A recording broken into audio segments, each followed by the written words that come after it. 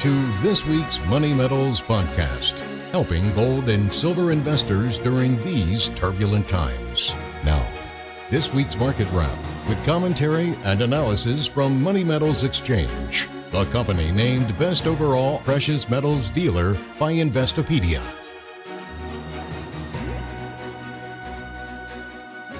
Welcome to this week's Market Wrap podcast. I'm Mike Gleason.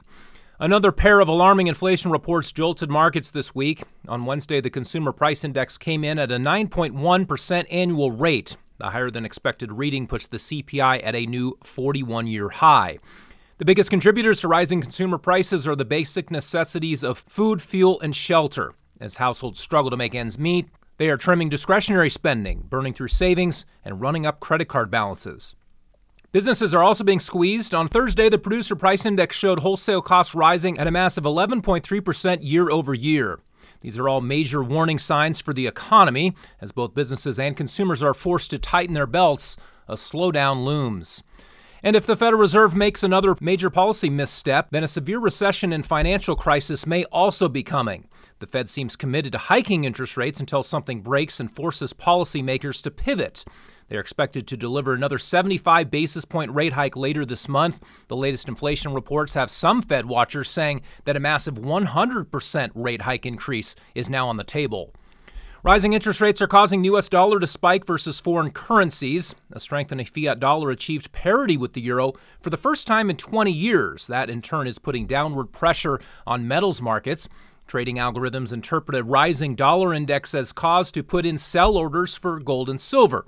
Of course, the U.S. currency has been rapidly declining in real purchasing power terms. But for now, inflation hedges are being sold off along with stocks, bonds, and cryptocurrencies. The yellow metal has been under significant pressure in recent days, dropping to as low as $1,700 per ounce on Thursday. Gold prices closed on Thursday at $1,717 an ounce, down 1.9% for the week.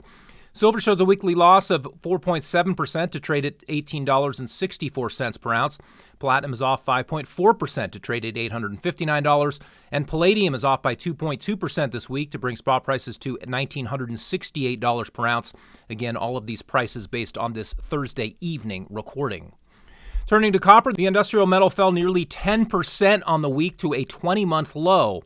The red metal is flashing a major red flag for the global economy. It suggests that manufacturing activity is plunging. The broader plunge in commodity markets also suggests that inflation pressures are abating. While not yet reflected in headline CPI data, markets are clearly foretelling a deceleration. Having created the inflation problem in the first place by flooding the financial system with excess stimulus, the Fed is now panicking to try to correct its mistakes. Fed Chairman Jerome Powell is acting like a bad driver who oversteers to try to avoid a road hazard. If the driver had kept his eyes on the road, he could have spotted the hazard early and gently put his foot on the brakes. But instead, he keeps his foot on the gas too long, then suddenly slams on the brakes while trying to swerve out of the way of danger, causing his car to spin out and crash. The Fed's reckless piloting of monetary policy is in the process of causing a major accident for the economy. Should the central bank continue to raise interest rates rapidly, the dollar could have room for more upside on foreign exchange markets, and that upside could keep the gold bulls at bay. However, the Fed may be forced to reverse course sooner than most analysts think. A Fed induced recession is becoming more likely with each passing week. Officials will surely hike rates again at their next policy meeting. The big question is whether the Fed can deliver more hikes in September and beyond before the equity market freaks out. Markets may be pricing in more rate hikes than the Fed can actually deliver. If so, then the recent selling in gold and silver looks to be way overdone. Many large market participants have shed their gold exposure in recent weeks. Gold ETF holdings have also declined, demonstrating a lack of interest by the investing public. Sentiment is at a negative extreme, usually associated with bottoms. Meanwhile, the shorts in the futures markets may be running out of gas. As there are few bullish speculators left to sell to, the bears will find pushing paper prices much lower from here challenging. Current price levels for precious metals represent an excellent long term value for patient investors. The long term bullish narrative for gold and silver remains intact. And despite seemingly everyone in the mainstream investing world hating the metals right now, bargain hunters are pouncing. Demand for physical bullion remains strong, it has even picked up during the recent spot price tumble.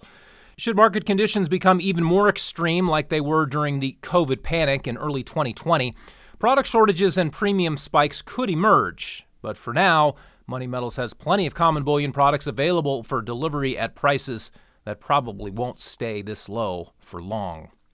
Well, that will do it for this week. Be sure to check back next Friday for our next weekly Market Wrap podcast. Until then, this has been Mike Gleason with Money Metals Exchange. Thanks for listening, and have a great weekend, everybody.